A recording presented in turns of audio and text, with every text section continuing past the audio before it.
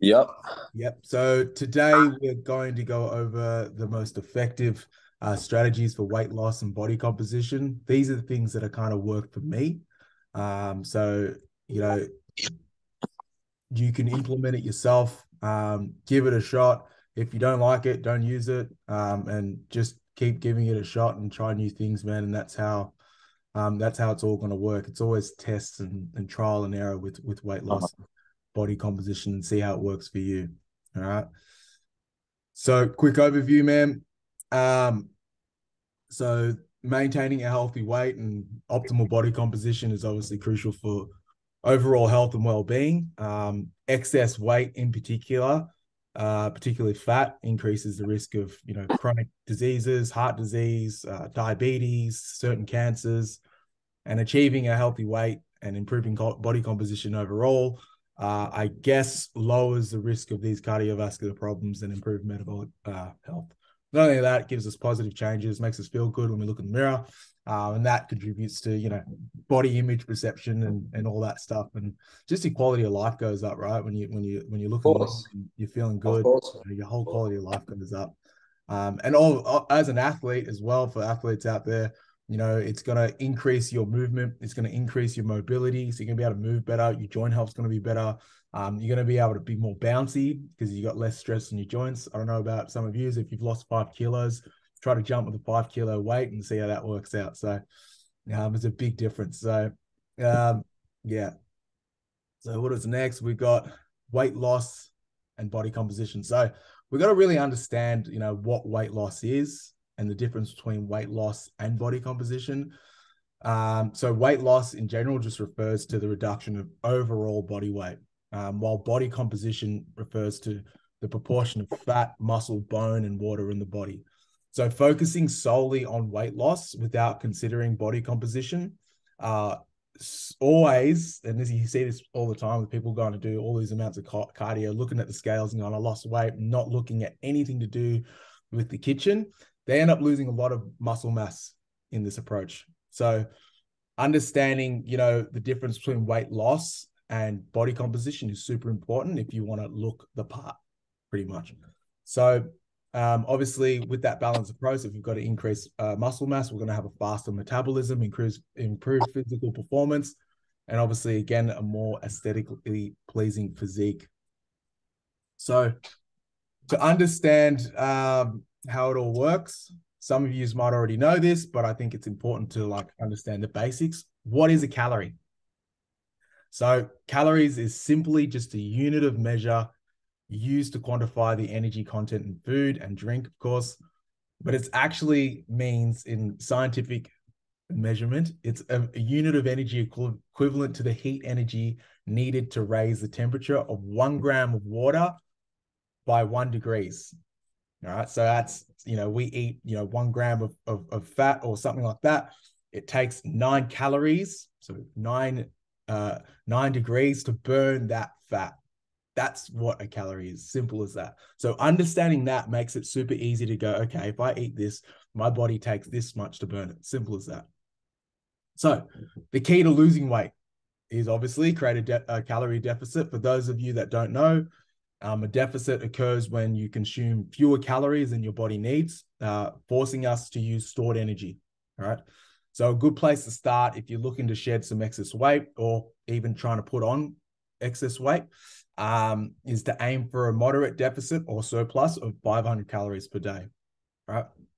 So you see some people doing these 1,000 calories restrictions, which can be super harmful um, and can have super uh, negative effects on metabolism and hormones. And you can see a lot of blokes that are in big deficits for a long time. If you go get their bloods done, they'll have this massive decrease in, in um, testosterone. A lot of them have very low testosterone just because they're smashing themselves into a deficit for so long. So what happens is, not to get into it too much, but hormones uh, come from fat. So we need to have fat there to create hormones.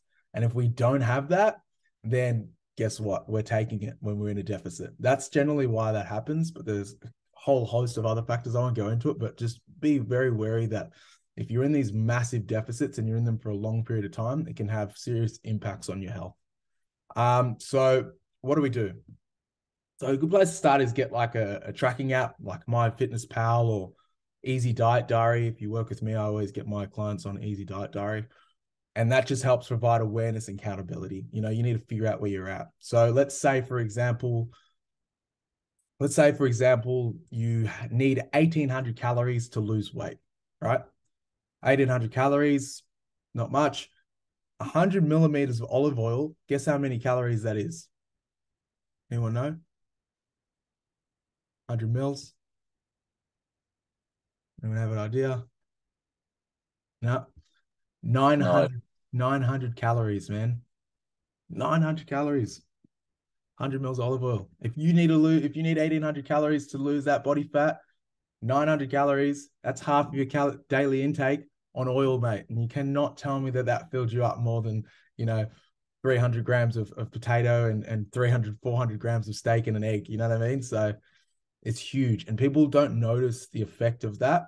So, you know, you're, you're putting a bit of sal- uh, uh, olive oil on your salad, a little bit of olive oil on your dinner, cooking with it. And all of a sudden, you know, you've racked up 60, 70 mils of olive oil, man. You're smashing yourself into the ground before you even started putting anything on the board. So, super important that one. I like to leave that. Um, I love to put that in people's face because it really helps them realize. So, another way you can think of it is think of calories as like a credit card, right? If you only had eighteen hundred dollars on your credit card for the day, and you had to go shopping for a few important items, let's say you know you like to eat nice food or you know comparison to that is like you know you like to wear fancy clothing so you go to louis vuitton or you go to gucci and without looking at the price for anything, you just go there with your $1,800 credit card and you go, dick, dick, just tap, tapping every shit like that, boom, boom, boom, boom. And all of a sudden, right, you've got no money. You would never do that unless you're killing it. But most of the time, most people out there are not going to do that. But we do that with our food. We go in there and we go to a nice restaurant and we eat all the steak we want. We eat that potato. We don't even look if it's covered in oil. Like we just go along mindlessly and just tapping our credit card on all these food items and just eating up like a pig, right? Like we're balling. But most of us are just driving our deficit into the ground, our surplus up, should I say, when we're trying to lose weight. So, super important because a lot of people focus so much on their health and they look in the mirror every day and they look at their body and they go, Oh, what's going on here? But they don't want to put the work in. They don't actually meticulously look at what's coming into their mouth. So, Calories are the exact same thing as a credit card, so treat it the same, please. All right. Here's another example. So let's spot the difference between these two. Uh, let's say, uh, let's say, uh, for instance, take a comparison on the right. All right. One meal has almost 800 calories due to an extra slice of avocado and an additional teaspoon of sesame oil. You know, and also an 80 grams worth of untrimmed steak that's been fried in oil.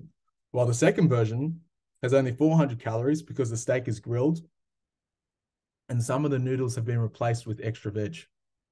That's it. That's all it's had. And there's 405 calories and 770 calories. Huge. Summer's double, man, just for some avocado. Like portion control is key with these fats. The next thing on your left we can see that there shows two eggs and two egg whites scrambled with half an avocado on toast and a sliced apple, which amounts to just over 500 calories, right? But adding the rest of the avocado, two more eggs, and a spoonful of peanut butter more than doubles the calorie to over a thousand calories. Huge, man. And they look the same, man. I'd eat both of them and feel just as satisfied or unsatisfied, should I say. So, and you could probably even, you know, if you look at these two here, the 1,028 calories, you could probably remove some of those apples and add some egg whites and probably get those eggs even fuller. So, I just think, I think that's mind blowing for a lot of people that are going to eat out. So, making a very small tweak to your plate um, by holding out in serves and slightly larger portions or adding just a few supposedly extra ingredients can double the amount of calories you're consuming. Crazy. Um, so let's go into the nitty gritty. Macronutrients, what are they? So these are made up of proteins, carbohydrates, and fats, and alcohol. We'll just add it in there. And they're essential for body composition. So protein equals four calories per gram. So every gram of protein we eat equals four calories. You know, obviously, protein supports muscle growth. um, and maintenance, while carbohydrates, um, they're four calories per gram as well, and they provide, I guess, energy for our for our workouts and maintain muscle glycogen, which is kind of like stored energy in our muscle fats and liver. And then you've got fats. They are nine calories per gram. They're super dense. You got to be super mindful with these. And they're important for hormone production and joint health. So there's only a certain amount of fat we actually need. Um, most most of the research points to um, only having 0.68 grams per kilo body weight to be particular. So 0.7 grams per kilo body weight. So if you're 100 kilos, you only need 70 grams of fat. Right? There's no research out there that, that I'm aware of that shows anything more than 70 grams per per fat per hundred uh, per gram of fat. So let's say, for example, you know, you're 50 grams, you're 50 kilos, mate. You only need 35 grams of fat. Fuck all. But people can um really smash that. You know, I think what I think uh what's what's 100 grams of of peanut butter. You're gonna smash that. Two eggs or what? 12 12 grams of fat. You know, so it adds up quick. Fats and everything. Um, additionally, alcohol consumption has a obviously physical and mental consequence um, that should be considered into relation to body composition. So going out on the weekend and and having a couple of having a, couple of brewskis is going to have a, an impact, obviously, on your calorie intake. So be careful with that. Um, yeah. So out of all those, the most important one is protein. All right, you've heard it before. It's, why is it so important? You hear all these people out there, and they're like, "Oh, you know, I want to get a big booty. You know, girls, a lot of girls are, are, renowned for this. They they go there and they, they go to the gym and they're doing all these hip thrusts and they're just smashing their booty. And you know, props to them. You know, some of them can lift some weight, but they go home and they eat nothing and they're in a calorie deficit all the time and they're looking in the mirror trying to get their booty bigger.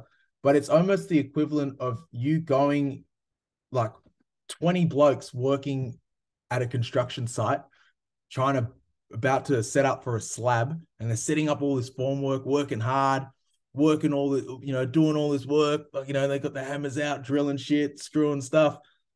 And then there's no cement.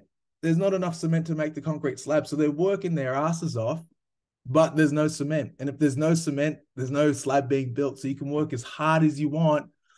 But if you don't have the cement there, guess what? You're not getting it built. Just like if there's no protein there, you're not building that booty. All right, super important. It is crucial macronutrient. It you know obviously you need it to achieve ideal body composition.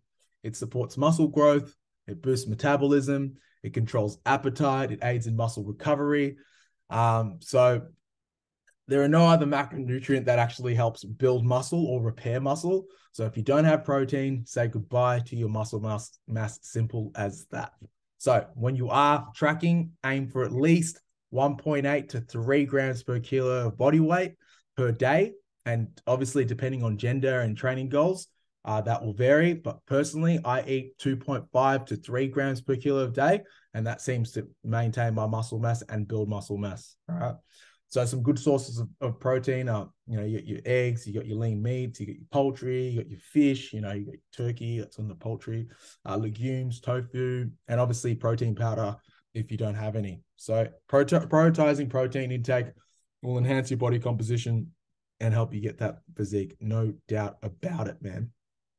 Um, so here's a cool study I, I wanted to talk about, and it, and it talks about the importance of sleep.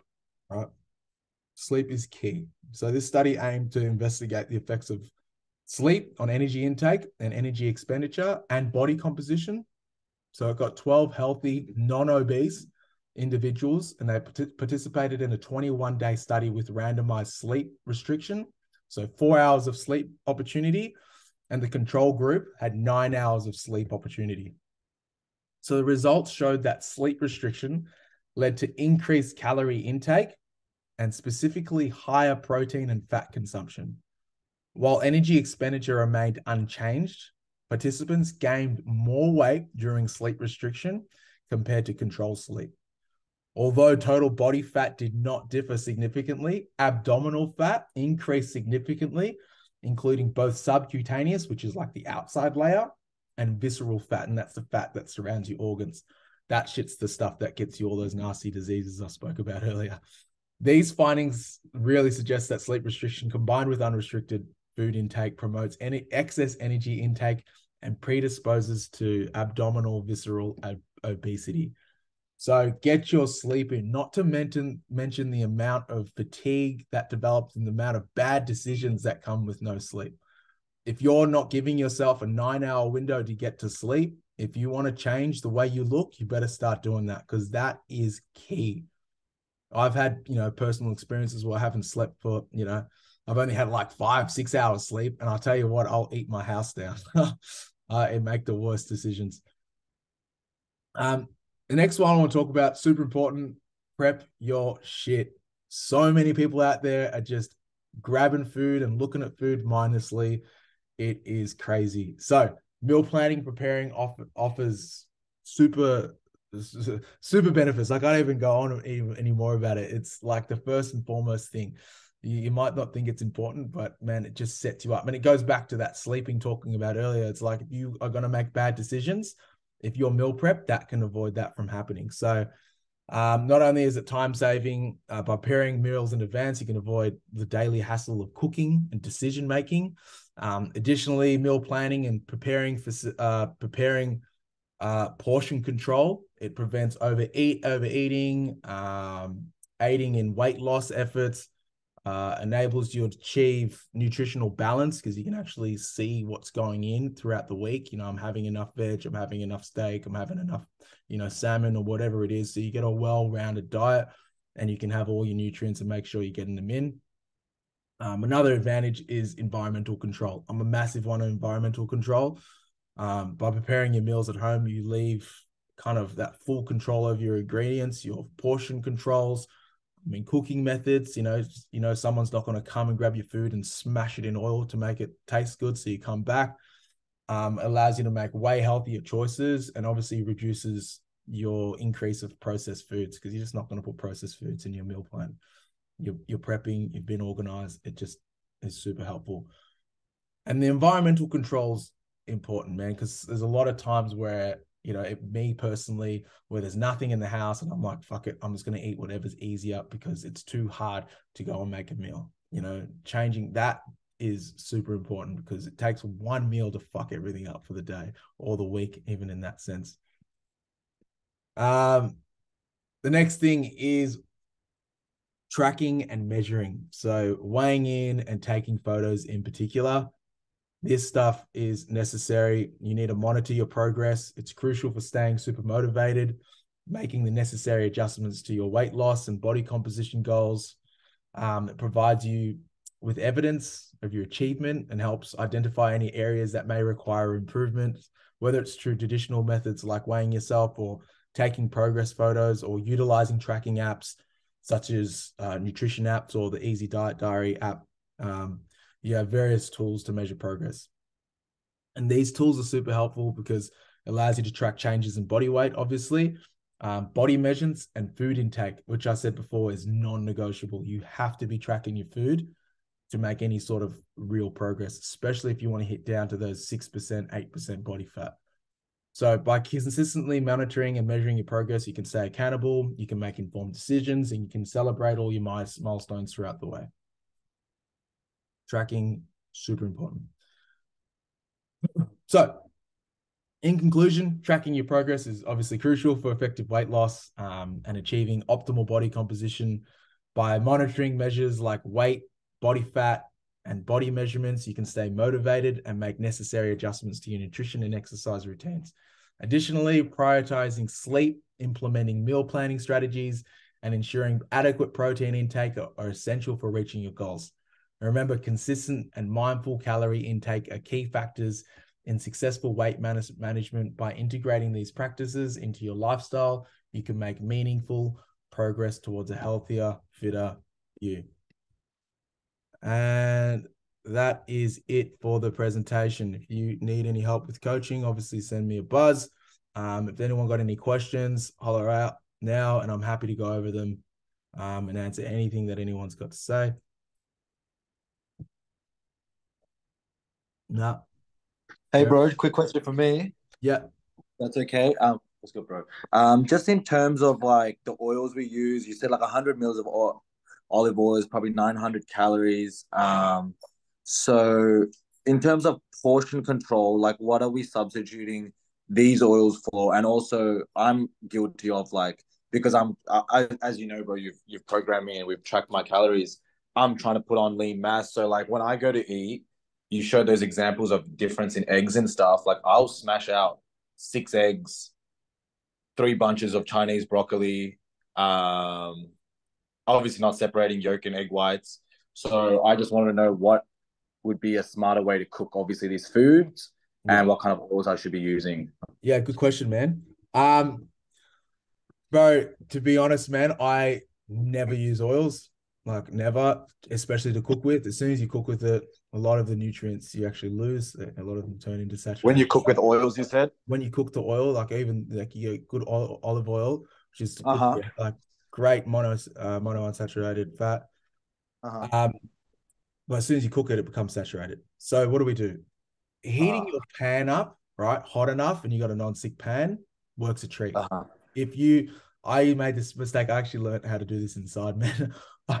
I used to always just like put oil in, and then one day we had non-stick pan. I'm like, how does this work? And here I am, turn the pan on and put my food straight in, and Uh-huh. the pan. I'm like, what's going on here, man? and then someone comes up to me, some old boobhead comes up to me and says, Oh, you got to keep it hot. And I'm like, Yeah, I kept it hot, man.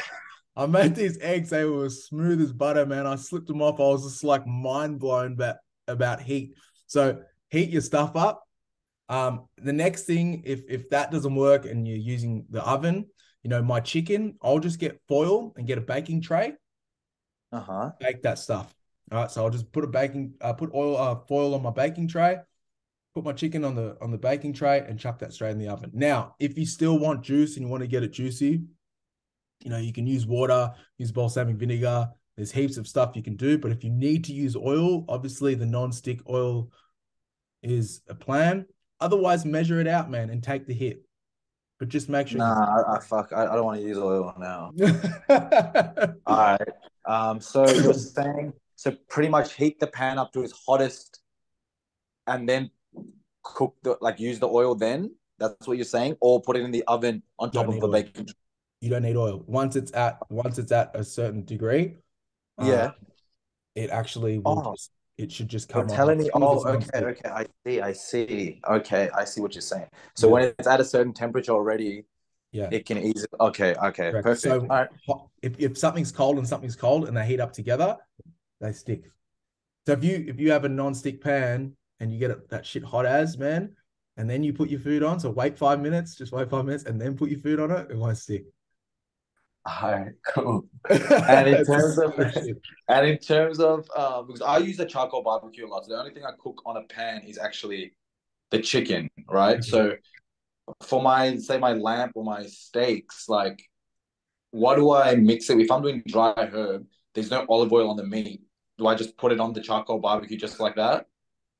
if there's no uh can you put it on I'm not sure how charcoal barbecue works. Is that just like a barbecue outside? Yeah, just a barbecue outside, bro. The grill heats up because, and there's heated coal underneath. So I pretty much heat the coal. I put So can you just put foil? Can you put foil down? Uh, no, foil will burn like quick. It doesn't stick on it though, does it? Uh, oh, I, I could try. Yeah, I guess corn hasn't stuck before in the foil. Okay. Yeah, check if it sticks, and if it does, then man, just maybe lather it up with like, you know, maybe just give it a quick spray. Um, Okay. Cool. and just wear it out. And then no oil again. Yeah. Yeah, you don't need to unless you know. All right. Perfect. Yeah, you All don't thanks. to. Um, especially if it's non-stick, and you know when you where you can use foil, use foil. Man, it makes cleaning a lot easier. You know, I tried to cook skewers on the grill once, and, uh, and just I was cleaning it for like two hours. I was like, Yeah. this worth, not worth my time. I could have went to a five star restaurant and got this shit cooked. Yeah. my time, man. So, Okay. Cool. And in terms of the eggs, real quick before I go, before you go, um, so I have to separate whites and yolks. Is that is that what? Um, don't have to. You just it's all about measuring, man. Like, you know, going back, it's all about like staying within your your limits, man. Like if you're trying to Okay. cut up, man, um, Uh huh. yolks are super good for you. Um, but you know, obviously having three, four yolks, are you kind of pushing it a little bit? Probably unnecessary. Right. Two yolks, one yolk. Yeah, I have two yolks every day, man. But it's like, what are your goals, man? And Uh huh. do you need to be having it that much? Like, probably not. So Right. for me, Fair. I'll pinch out like 10 egg whites and two yolks. That's what I, that's okay. So that's more like for me as well. Perfect. Yeah. All right, It's easy. super dense. I think uh, uh, uh, egg whites are like 15 calories and the yolks like 50, 55, man. So it's like, yeah, man, it's like, it's crazy. So I just smash them whites, man.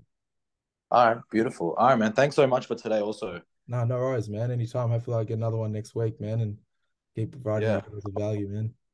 appreciate it. Appreciate it. Um, I'm about to head to the gym, so good luck with everything. Good luck with your ankle, bro. Thanks, bro. Peace, peace. Yeah, man. Hey, Jem, you get any questions, my boy? Nah, bro, he pretty much uh, actually had exactly the same question because as soon as you mentioned oil, um, I'm kind of on that same train where I use olive oil, but um, yeah, it's it's not really needed. I just think it's like I can't be fucked cleaning it really intensely when I'm washing up, so I'm like, Yeah. yeah, I'll just use oil. But it's it's definitely good to know, bro. Yeah, what so what have you been cooking with at the moment? Like have you been just been cooking chicken on the pan or Nah, this is more so for for for breakfast because I smash like um like eggs daily and stuff like that and mixed mushrooms and everything. But it was more so I um you actually trained one of my uh friends uh Ray Roller Rod.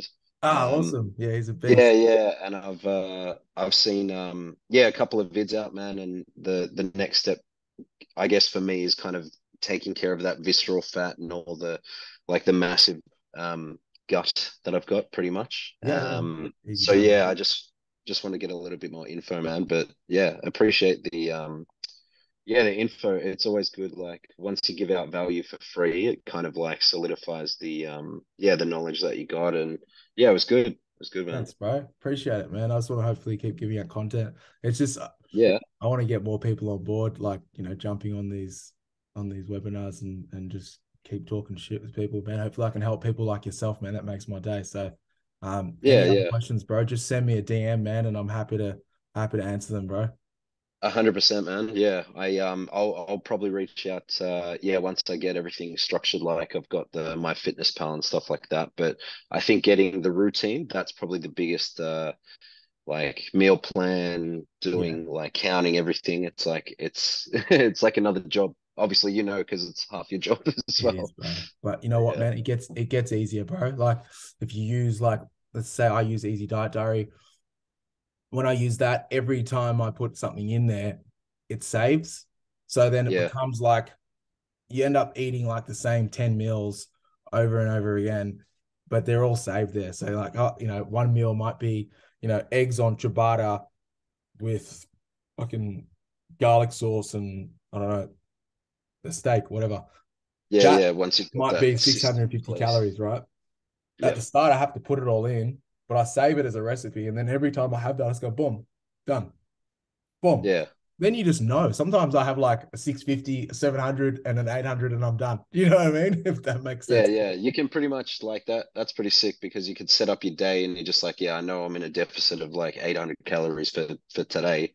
Um, like that's that's sorted stuff Yeah, like that. man. Super, super helpful once you get the once you understand your foods and what they're worth, and then you start Yeah. to analyze their protein content. It's like, is this going to give me high protein? Is this fat's not going to be too high? You know, and if you can keep doing that with all your meals and you find them all pretty nutritional as well, man, you are on the right wicket, man. Yeah, that sounds good, bro. Um, yeah, once again, thanks, appreciate it, Nice. and um, I'll definitely reach out directly and um, yeah, get some get some more gold nuggets from your brain. Anytime, Jem. I'll speak to you soon, buddy. Thanks, bro. Take care. Bye. Peace.